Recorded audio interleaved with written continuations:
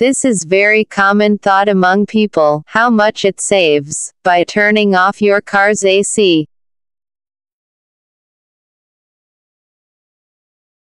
Have you ever thought, how much of a difference turning off the AC make to efficiency or performance of a car?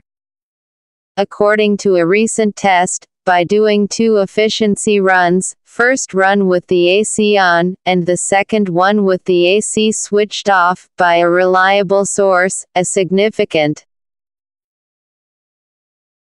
increase of almost 15.5% in efficiency was noticed with the AC switched off. Of course this figure is bound to change depending on conditions, driving style and the car itself.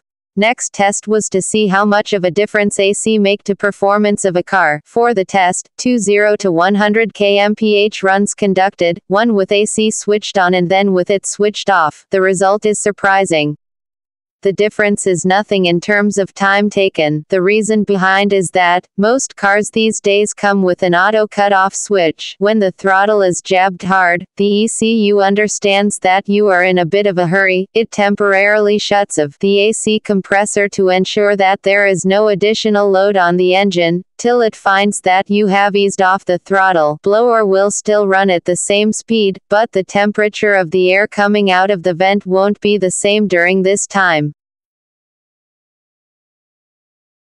In the early 2000s, only the high-end cars came with this auto cut-off feature, but almost every car on sale today, features, an auto cut-off switch. Thank you friends, for watching.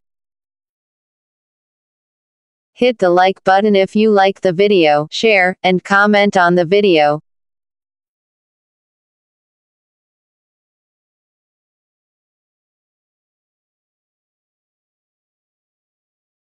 Subscribe for free now, to watch more free videos, thank you.